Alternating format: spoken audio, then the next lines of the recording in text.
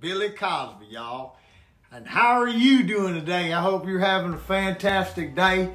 I hope everything in your world is going as good as it is in my world. There's only one way to make the day feel a little bit better. That's with a beer. So I was reading the news earlier today and uh, I saw that our great president, Donald Trump, he invited himself to throw the ball at the Yankee game, and I fucking feel like he should be able to throw the goddamn ball at the Yankee game. He is the president of this great United States. Nothing better than taking down a few of these here every day. You know, sometimes I take down 12, sometimes I take down 24. Really, it's all a challenge to myself. I've never seen a man in such great physical condition as your president, as my president a few motherfuckers feel like he shouldn't throw the pitch. Now, I love everything about him.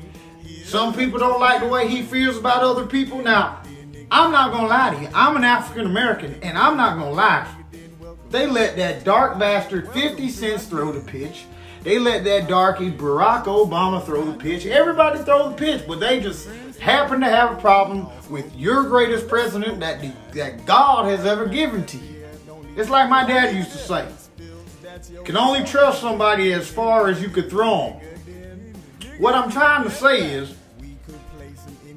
Donald Trump's got to be lighter than a feather. He might seem like he's really fat, but actually he is a sweet, gentle, soft man.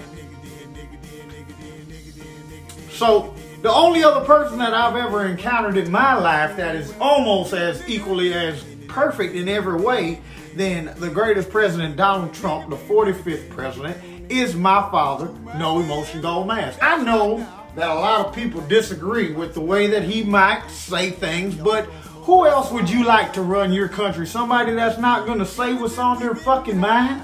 Now that soft-spoken last guy, that Obama, that old, you know, related to Ben Sama guy, he would never say what's on his mind. He had too many people worry about. You know how it is sometimes when you're one of those black women. You're not able to just say whatever. Like my woman, you know, I'm gonna call her a bitch whenever I want.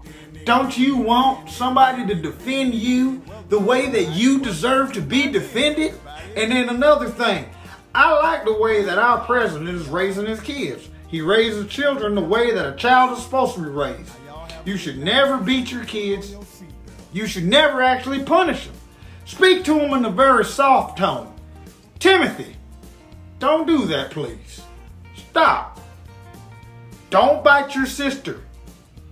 Jonathan, don't go in the swimming pool. But a lot of these black fellers aren't allowed to talk to their women these ways. Our president deserves to throw that goddamn ball. It's like my daddy used to say. When you're in charge, nobody else can tell your dumbass what to do. Thanks for watching the video. Help us write songs. Join the live stream every day on YouTube at 6 o'clock. We go hard. We keep it tight.